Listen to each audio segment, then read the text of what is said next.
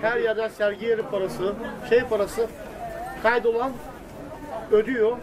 Geri kalanında bir şey yok. Kayıtsızlara, kuyusuzlara karşı savaş açıyoruz ama zabıtaya söylüyoruz kaçak göçer sağda solda değil. Onlarla ilgilenmiyor. Mahalle pazarlarında başladılar para istemeye. Şimdiye kadar böyle bir şey yoktu. Bu, bu dönemde çıktı bu. Nasıl bir şeydir anlamadık gitti. Ya bizim bu Malkara kendi kendine geçiren bir şey.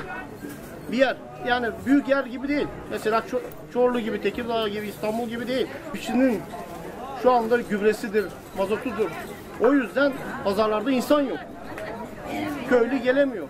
Memurlar desen zaten kartlarla marketlerden alışveriş yapıyor. Bu sefer otomatikman esnaf zor durumda. Şimdi bizim Malkara'mızda gel gelelim Tekirdağ vilayetine bağlıyız. Ama Tekirdağ vilayetinde sözümüz geçmiyor. Ama Keşanlıların bu Malkara'da onlar Edirne'ye bağlı olduğu halde Keşanlıların bu Malkara'da pazar yerlerinde falan sözleri daha fazla geçiyor.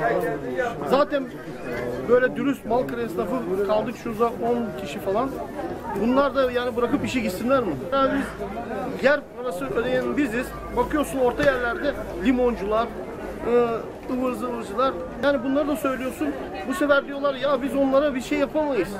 E biz de mi o zaman kaçak göçek çalışalım? Biz de mi şey yapalım? Peki sizin e, bağlı bulunduğunuz oda, esnaf odası herhalde.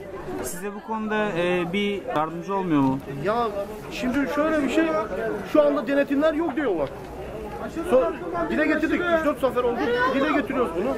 Yani denetim yok diyorlar. Adam diyor, marul soğan satana diyor, şey yapmam. E ben de marul soğan satarak vergimi veriyorum.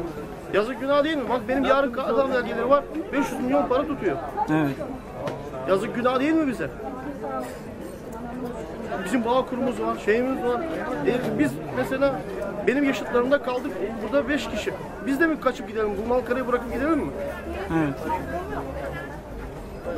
Yani o yüzden sahip çıkılması lazım. Esnafa sahip çıkılması lazım. Pazarcı esnaf. Benim benim amcamın çocukları vardı. Bıraktılar işi gittiler yani. Malkara'dan gittiler mi şu Malkara, anda? Malkara'dan gittiler. Şu anda Nereye Çorlu- gittiler? Çorlu'da fabrikada çalışıyorlar. Çorlu'da fabrikada çalışıyor. Esnaftı bunlar burada. Esnaftı. Bıraktılar. Sırf bu söylediğin nedenlerden dolayı. Tabii sahip çıkılmadığından dolayı. Pazarcı esnafı mıydı onlar? Pazarcı esnafıydı. Evet. Yeni pazar yeriyle ilgili görüşünüz nedir? Yeni pazar İyi mi olur sizin için kötü mü Ya olur? yeni pazar yeri şöyle bir şey benim mahalleme yakın. Benim için iyi olur ama şu anda eğer öyle yeni bir pazar yap- yapılacaksa bu perşembe pazarının yukarıya alınması lazım. Yukarıda da bir yer. Çünkü yukarıdan mahalleden Ankara bayır yer olduğu için yukarıdan mahalleden insanlar inemezler aşağıya. Ama şöyle de bir şey mesela ben isterim.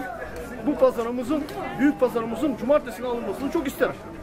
Çünkü memur kısmı hiç alışveriş yapamıyor şu anda. Pazartesi günü herkes bir şeylere, bankalara koşuyor, ödemelere koşuyor. Memur kısmı zaten o gün hafta sonunun sersemliği var, pazara çıkamıyor. E bu sefer ne oluyor? Ankara esnafı hep mağdur durumda. Ki Edirne'de falan, Edirne esnafı Mustansile kota getirdi. Ama bizim burası çiftlik. Mustasile kota getirdi derken açar mısınız biraz bunu? Mustansile şöyle kota getirdi. Adam mesela Çanakkale'den falan mal yapıyor. Getiriyor bizim Malka'da satıyor. Halbuki kendi ürünü değil. Ama Edirne'de olsun, başka yerde olsun hep bunlar kayıt altında.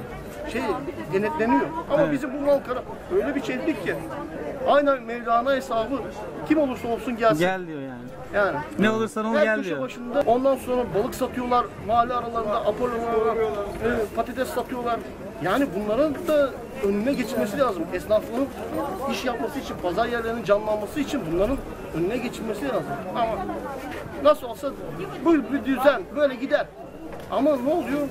Dürüst esnaf bu sefer kaçıp gidiyor.